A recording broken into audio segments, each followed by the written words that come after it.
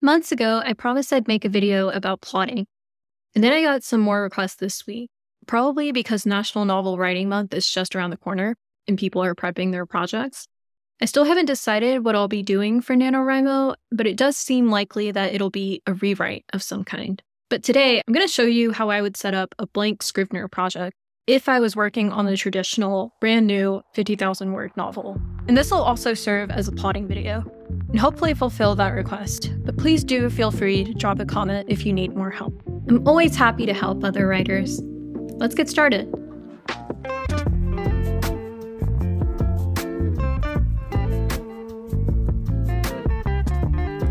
We're to start with a completely blank page. Before we do anything else, we're to set our project targets. Go to Project, and then Show Project Targets. type in 50,000 here and then go to options. Set your deadline.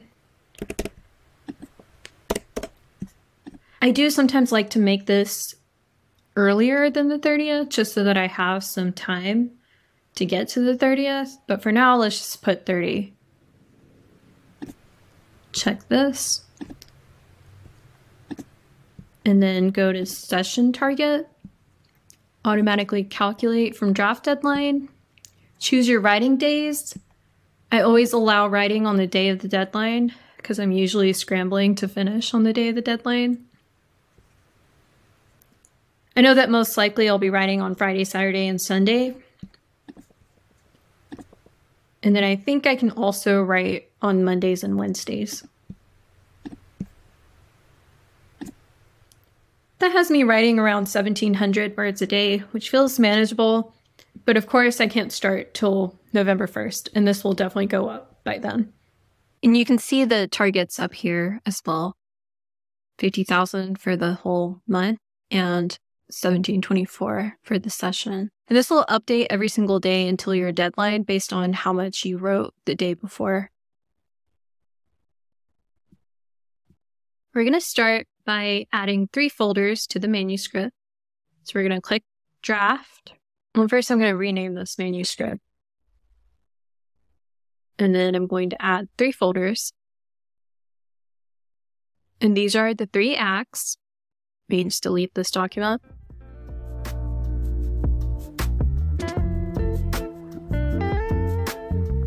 Let's take a little detour to talk about plot.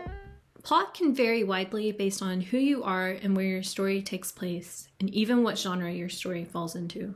Today, we'll be using the most popular plot structure, which is the three act structure that originated in Aristotle's unified plot. At its most basic, this structure depicts a beginning, a middle, and an end. And that corresponds to an intro, a crisis, and a resolution. It's a story that moves along a linear path and follows a chain of cause and effect. Freytag transformed Aristotle's triangle into a pyramid and added two more elements to story rising action and falling action. Honestly, I think the triangle shape already got that idea across, but whatever. In general, I think the most important aspect of plot to keep in mind is that your protagonist should transform in some way by the end of the story, and what happens over the course of the story should contribute to that transformation. Now, we're going to get a little more in the weeds by dividing the three act structure even further.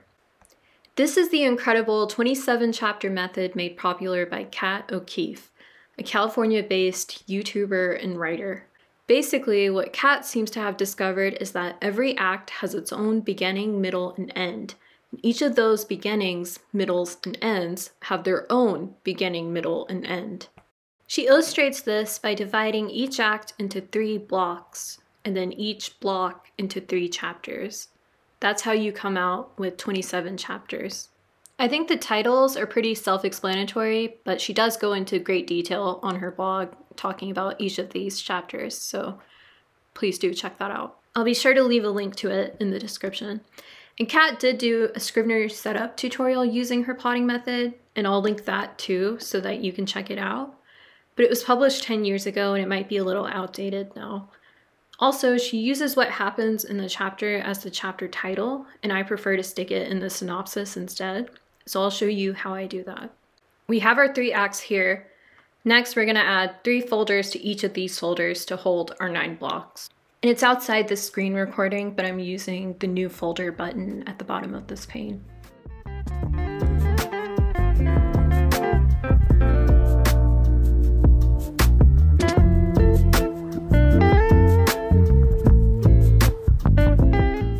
Next, we're gonna select each block and use the plus sign in the toolbar to add three files to each. And that's going to hold our 27 chapters.